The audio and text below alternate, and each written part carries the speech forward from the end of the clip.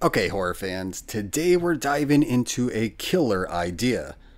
Really, it's kind of been floating around the Dead by Daylight community for quite a while now. What if Jason Voorhees finally made his way to Dead by Daylight? I mean, come on, we've already got Freddy, Michael, Ghostface, but no Jason? Let's talk about how that could change, and what it would look like, and how realistic it actually is. So let's get into it. If Jason joins the Dead by Daylight roster, you know he's bringing some killer perks. I'm thinking of something along the lines of Relentless Pursuer. This perk would allow Jason to lock onto a survivor's aurora after they've been injured, making him almost impossible to shake off.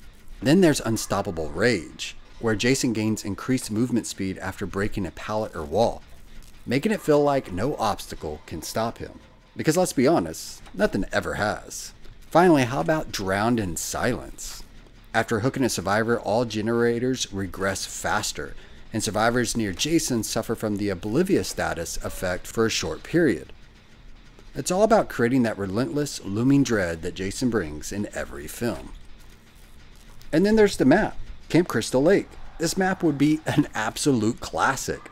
With its dense forest, foggy lake, and iconic cabins, imagine running through the woods with Jason stalking behind the lake in the distance. And you ducking into a cabin praying he doesn't find you. There could be an abandoned car to evoke that classic broken down car in the middle of nowhere vibe, along with hidden trails, docks, and even a boat that could be used as part of the escape strategy.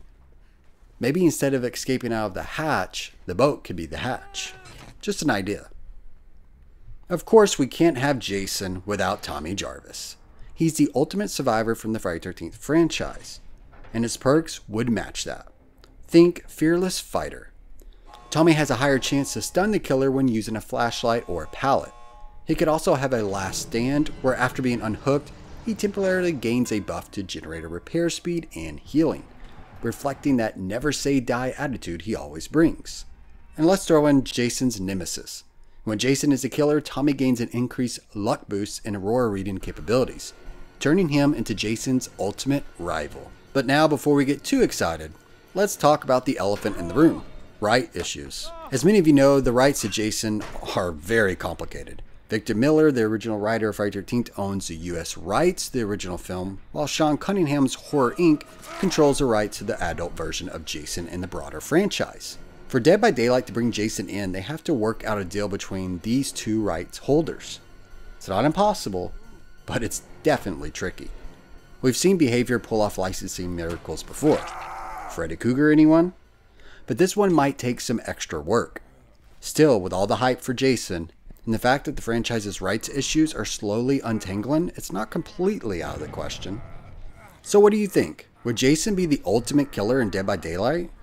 Or is the rights battle just too much of a hurdle? Let me know in the comments what perks do you think he should have, and would Tommy Jarvis be your go to survivor? Let's hear some theories. If you enjoyed this video, just give it a like.